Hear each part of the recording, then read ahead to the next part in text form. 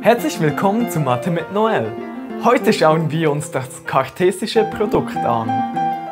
Beginnen wir doch gleich mit den verschiedenen Namen des kartesischen Produktes. Das kartesische Produkt wurde nach dem Mathematiker René Descartes benannt. Es wird auch als Kreuzprodukt oder Mengenprodukt bezeichnet. Dabei darf man das Kreuzprodukt nicht mit dem Kreuzprodukt von den Vektoren verwechseln. Das kartesische Produkt liest man a kreuz b. Dabei ergibt sich eine Menge von geordneten Paaren. Ein geordnetes Paar ohne Elemente wird auch Nulltupel oder leeres Tupel genannt. Ein geordnetes Paar mit zwei Elementen wird auch Dupel genannt.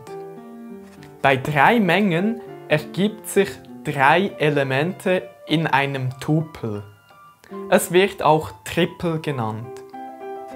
Bei vier Elementen wird es Viertupel oder Quadrupel genannt. Die Reihe wird analog durch lateinische Vervielfältigungszahlenwörter fortgesetzt. Die Elementen in einem Tupel werden Komponenten genannt. A kreuz B wird definiert als AB, wobei gilt, A ist Element von der Menge A und B ist Element von der Menge B. Das heißt, wir suchen alle Zahlenpaare, die mit der Menge a und b möglich sind. Wir nehmen uns die Menge a und b zur Hand und bilden das Kreuzprodukt. Das erste Dupel ist 1, 2.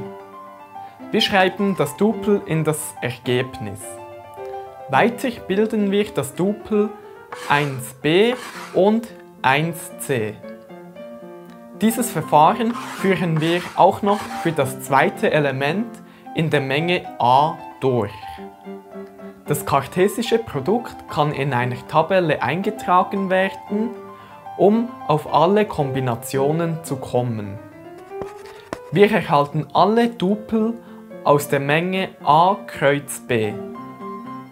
Es ist zu beachten, dass b kreuz a nicht dasselbe ist. Beispielsweise ist das Dupel A1 in der Menge von B kreuz A vorhanden, aber in der Menge von A kreuz B nicht. Das heißt, das kartesische Produkt ist nicht kommutativ. Wir nehmen das kartesische Produkt von n kreuz n. Diese Schreibweise wird abgekürzt mit n Quadrat. Wir nehmen uns das Koordinatensystem mit den dazugehörigen Tupel zur Hand und wählen den Punkt 3, 4. Wir sehen, dass der Punkt 3, 4 in der Menge des Kreuzproduktes von n ist. Auch der r hoch 3 ist ein kartesisches Produkt. Wir betrachten alle Punkte auf den Achsen x, y und z und auch die Punkte im Raum. Alle diese Punkte sind Triple von r hoch 3. Das kartesische Produkt ist nicht assoziativ.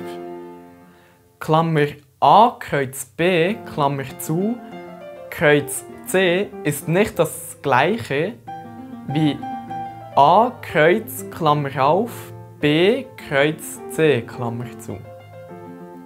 Weil im ersten Fall das Dupel AB vorhanden ist und im zweiten Fall das Dupel BC.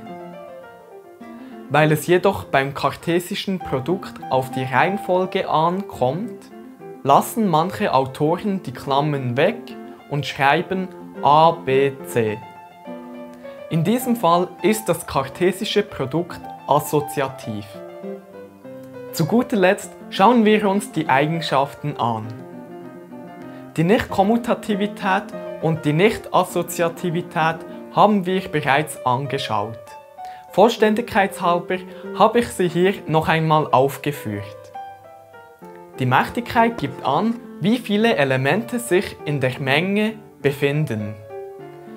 Die Mächtigkeit von A kreuz B ist gleich wie die Mächtigkeit von A mal die Mächtigkeit von B. Die zuvor angeschaute Tabelle verdeutlicht das am besten. Wenn A zwei Elemente hat und B drei Elemente, dann ist die Mächtigkeit von A kreuz B 2 mal 3, also 6. Eine Menge Kreuz der leeren Menge ergibt die leere Menge. Am besten kann man das veranschaulichen mit dem Beispiel, alles was mit 0 multipliziert wird, ergibt 0. Das kartesische Produkt ist distributiv. Man kann also ausklammern. Hier habe ich ein Beispiel aufgeführt. Auch die Monotonie ist erfüllt. Wenn A1 in B1 vorhanden ist und A2 in B2, dann ist auch A1 kreuz A2 in B1 kreuz B2 vorhanden. Somit wären wir am Ende des Videos angelangt. Hier findest du mein nächstes Video. Vielen Dank fürs Zusehen und bis zum nächsten Video. Tschüss!